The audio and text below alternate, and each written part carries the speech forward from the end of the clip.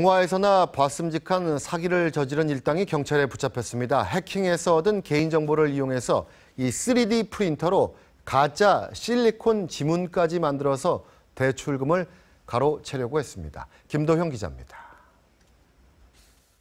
56살 박모 씨 등 일당은 중국 위조범에게 의뢰해 3D 프린터를 이용해 64살 이모 씨의 지문을 실제처럼 만들어냈습니다.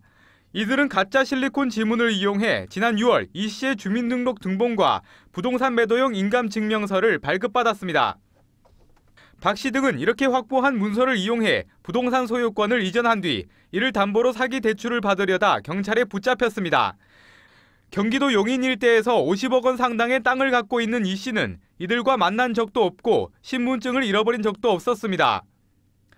그런데 박씨 일당은 해킹과 지문 위조로 이씨 땅 소유권을 이전시킨 뒤 이를 담보로 강남의 모 조축은행에서 대출금 15억 원을 타내려고 했던 것으로 드러났습니다.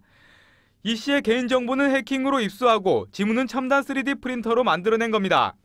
얇은 그 실리콘 같이 비닐 같이 된 지문인데 오른쪽 엄지에 붙였답니다.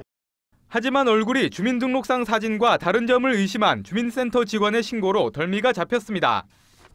경찰은 박 씨 등 4명을 구속하고 해킹과 지문 위조 과정에 다른 범행 가담자가 있는지 수사 중입니다. TV조선 김도영입니다.